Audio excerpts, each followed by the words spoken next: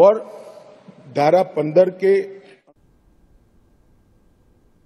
లోక్సభలో బీజేపీ బలం గణనీయంగా తగ్గిపోయింది దీనికి కారణం ఇటీవల ముగిసిన శాసనసభ ఎన్నికల్లో కేంద్రం అధికారంలో ఉన్న భారతీయ జనతా పార్టీ కొంతమంది మంత్రులు ఎంపీలను బరిలోకి దించడమే కాగా రాజస్థాన్ ఛత్తీస్గఢ్ మధ్యప్రదేశ్ ఎన్నికల్లో బీజేపీ తరపున పోటీ చేసిన ఎంపీలు గెలుపొందారు బుధవారం నాడు వీరంతా పార్లమెంటు స్పీకర్ కార్యాలయానికి చేరుకుని రాజీనామా సమర్పించారు బీజేపీ వర్గాల సమాచారం ప్రకారం మొత్తం పన్నెండు మంది ఎంపీలకు గాను పది మంది రాజీనామా చేసినట్లు తెలిసింది.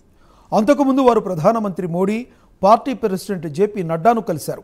కాగా ఎంపీలందరినీ తీసుకుని నడ్డా స్పీకర్ కార్యాలయానికి వెళ్ళారు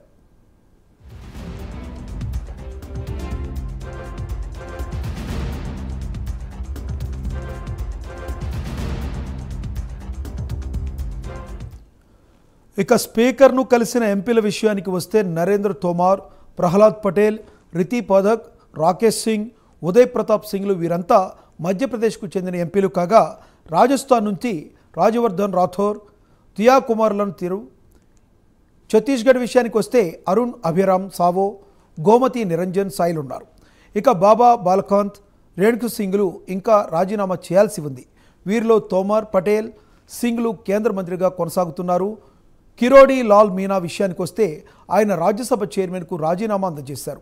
మొత్తం ముగ్గురు మంత్రులు రాజీనామా చేయడంతో మరోమారు మంత్రివర్గ విస్తరణ ఉంటుందన్న ఊహాగానాలు కూడా ఊపందుకున్నాయి. కాగా లోక్సభలో బీజేపీ బలం మూడు వందల ఒకటి నుంచి రెండు వందల ఎనభై తొమ్మిదికి దిగి వచ్చే అవకాశం కనిపిస్తుంది.